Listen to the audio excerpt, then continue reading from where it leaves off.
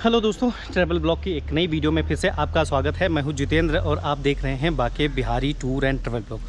So दोस्तों, हिमाचल प्रदेश के बीर बिलिंग में था और रास्ते में जाते वक्त मुझे एक बुद्ध का टेंपल मिला और उस जो टेंपल का नाम है, वो है चिंग जोंग यहाँ पे आप आ सकते हैं जब आप बिलिंग में आते हैं वीर बिलिंग में आते हैं तो देख सकते हैं।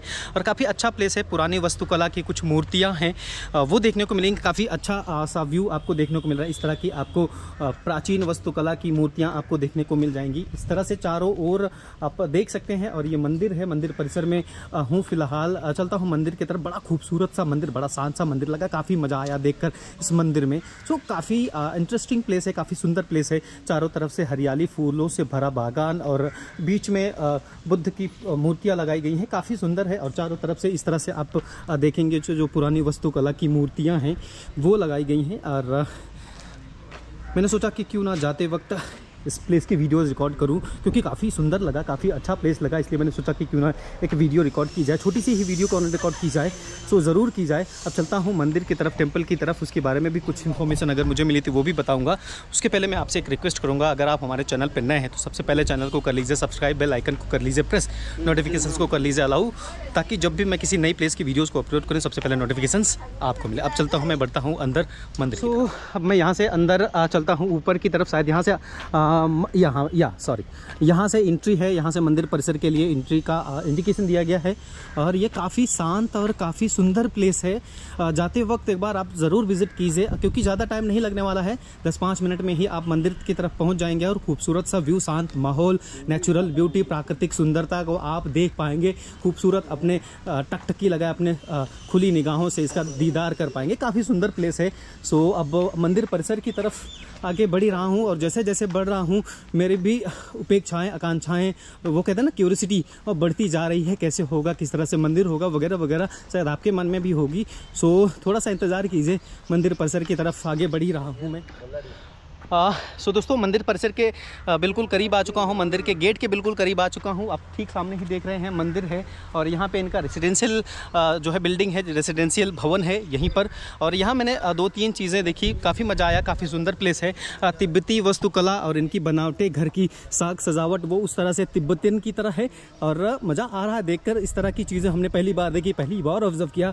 अगर आप भी आना चाहते हैं तो निकलिए हिमाचल प्रदेश के टूर पर क्योंकि ऐसी बहुत सी सारी जगह हैं जो आप देख सकते हैं, हिमाचल प्रदेश में काफ़ी मज़ा आएगा जब आप इस तरह के प्लेसेस पे विज़िट करेंगे। सुंदर प्लेस है, साथ में प्राकृतिक सुंदरता देखने को मिलेगी। साथ में साथ, शांत माहौल और बड़ा मज़ा आएगा ऐसे प्लेसेस पर आकर। सो मैं एक बार मंदिर पूरा दिखा दूँ, किस तरह का मंदिर है, किस तरह से बनावट है इसकी। आप यहाँ देखेंगे तिब्बती लैंग्वेज में भी कुछ लिखा गया है। मुझे तो बिल्कुल भी कुछ समझ नहीं आ रहा है क्या लिखा गया है। अगर आप समझते हैं, आप अगर कहीं से भी हमारी वीडियो देखते हैं, अगर आप इस लैंग्वेज को समझते हैं तो कमेंट करिए, बताइए क्या क्या लिखा था। सो हमें भी कुछ पता चले। वैसे देख रहे काफ़ी सुंदर है इस तरह से।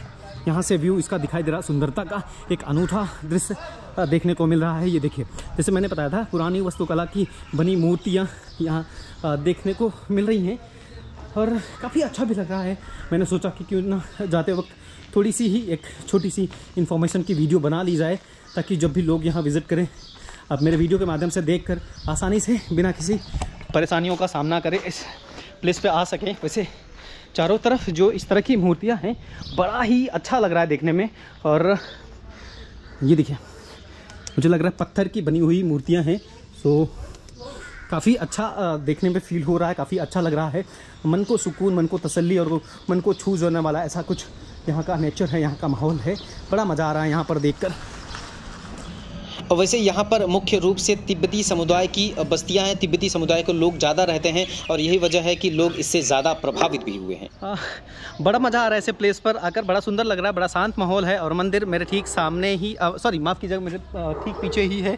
वहाँ अंदर जाने की और वीडियो बनाने की बिल्कुल भी परमिशन नहीं है। बट बाहर से ही मैं जो भी इन्फॉर्मेशन थी, जो वीडियोज़ में बता पाया हूँ, उतना बाहर से ही लेकर आपको बता सकता हूँ।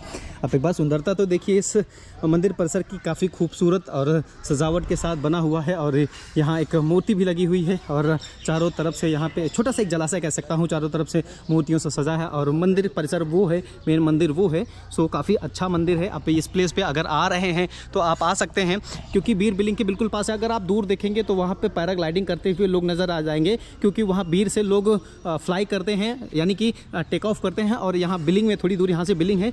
बिलिंग में आकर जो है लैंड करते हैं। तो अगर आप वो एडवेंचर एक्टिविटी करने के लिए आना चाहते हैं उस चीज़ के आप शौकीन हैं तो आप ज़रूर आइए, विज़िट कीजिए हिमाचल प्रदेश में। सो, ज़्यादा वक्त ना लेते हुए इस वीडियो की यात्रा को यहीं करता हूँ ख़त्म। और ज़्यादा वक्त ना लेते हुए आज की वीडियो की यात्रा को यहीं करता हूँ ख़त्म और लेता हूँ आपसे विदा। निकलता हूँ किसी और प्लेस के लिए क्योंकि कुल्लू, मनाली, शिमला, कसोल वगैरह वगैरह ढेर सारे प्लेसेस बाकी हैं। वो सारे प्लेसेस की वीडियोस भी आपके साथ में साझा करनी है।